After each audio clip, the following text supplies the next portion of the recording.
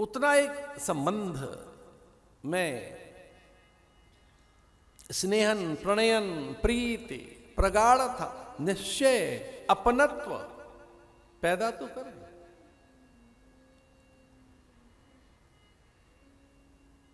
उसे कोई संकोच नहीं है, मेरे तो गिरधर गोपाल, दूसरो न कोई, मेरे वही है। एक अनन्य अनुराग। हमें अपने इष्ट के प्रति रखना होगा। इष्ट हमसे दूर नहीं है, उसकी कृपा से हम वंचित नहीं है, और इष्ट के अनुगत हैं, हम उसके आश्रय में हैं, उसके आश्रय में। हैं उसके आश्रय में रहना सीखो। हम उनके आश्रित हैं, उसके सहारे रहना सीखो। अवलंब उसी का लीजिए। अवलंब माने सहारा। और किसी का आलंबन मत लो। और जब हम ऐसे इस विश्वास में रहते हैं जब हमारा भगवत आलंबन सिद्ध हो जाता है कि हम भगवान के आश्रित हैं, बल्कि भक्त तो यहाँ तक कहता है, चरणाश्रित हूँ मैं तो। आश्रय में भी मैं तो चरणों के आश्रित हूँ, उनकी कृपा के आश्रित हूँ। अगर हम उनके आश्रित रहना सीख लें, ये विश्वास हो जाए कि भगवान मुझसे दूर नहीं है। मेरा इष्ट और उसके अनुग्रह से मैं वंचित नहीं हूँ। उसकी कुछ चीज़ें नहीं, उसकी सब वस्तुएँ मेरी हैं। तो ऐसे अनिष्ट की कल्पना कभी नहीं हो सकती आप।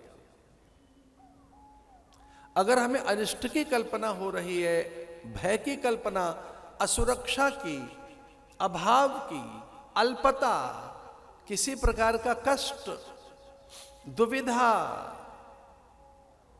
तो कितनी दुर्बलता है हमारी भक्ति में?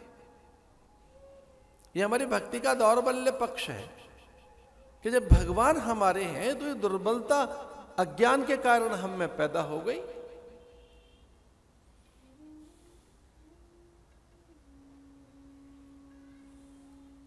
इसे मेरा कभी कोई अनिष्ट नहीं कर सकता।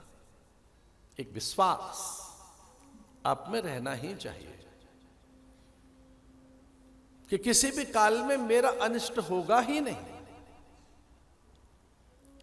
ऐसी पात्रता का विकास करो। और जब ऐसा विचार करोगे तो भगवान का विधान अच्छा लगने लगेगा।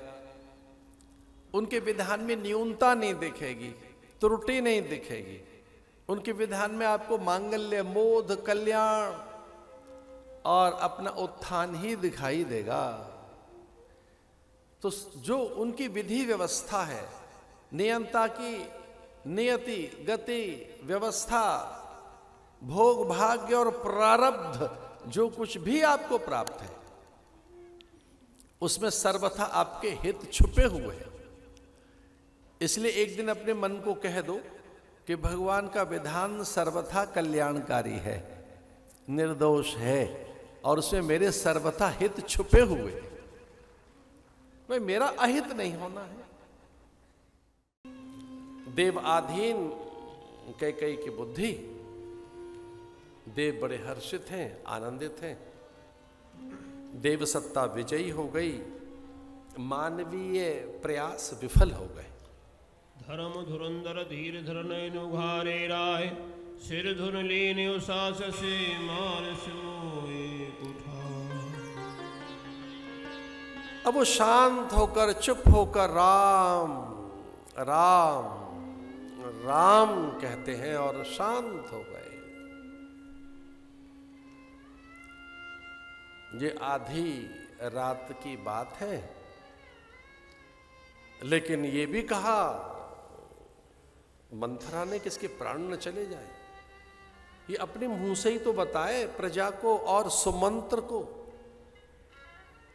कि मैंने वचन दिए हैं तो रात भर कोई उपचार करके इसके प्राणों की रक्षा करनी है। किसी प्रकार से। ये आधी रात में बात हुई है। तो मंथरा बड़ी चिंतित है कि इसके प्राण भी रह पाएँगे कि नहीं। तो मंथरा और केकई उनके प्राणों की चिंता कर रहे हैं कि ये किसी जीवित रहें बस, भोर तक। और ये जीवित रहकर ये खुद बताएँ, सुमंत्र को।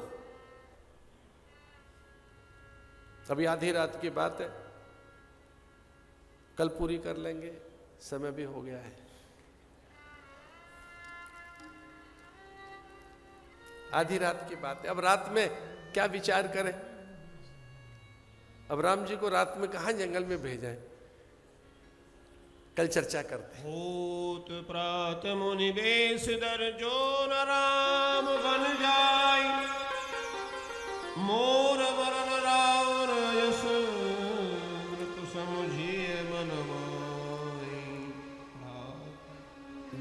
एक चिता बना कर रख ली थी के कई ने।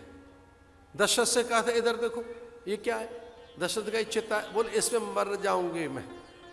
भोर में इसे प्रज्वलित करूँगी, प्राण दूँगी इसमें मैं। अगर ये भोर में आपने ये न कही बात सबको, सुमंत्र को और राम को वन न भेजा तो तो चलो ये सारी बातें तो कल ही कर लेंगे अब। आरती करते मंगलम भगवान विष्णु, मंगलम गणरुध्वज मंगलम पुंडरीकाक्ष मंगलाय तनो हरि